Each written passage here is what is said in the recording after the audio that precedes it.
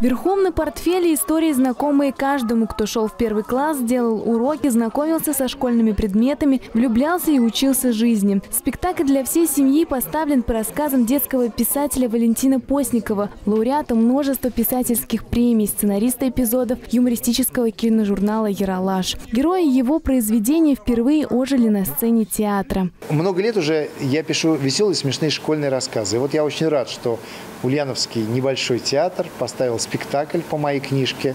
Это была моя мечта. Я всегда мечтал о том, чтобы по моим книжкам сделали спектакль.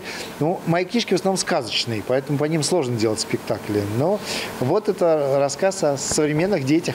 Мечту автора воплотила главный режиссер театра Марина Корнева. История Семена Рыжикова и его друзей смешная и простая для детей малого школьного возраста. Многим детям рассказы Валентины знакомы, понятны и любимы. Режиссер спектакля признается, проводился целый кастинг из известных детских писателей. Среди них были такие авторы, как Носов и Драгунский. Но выбор пал на современного писателя. Нам хочется, чтобы э, поколение младших школьников а, знало и классику, и современную отечественную русскую литературу. А я думаю, что рассказы Валентина Постникова – это очень хороший образец детской литературы.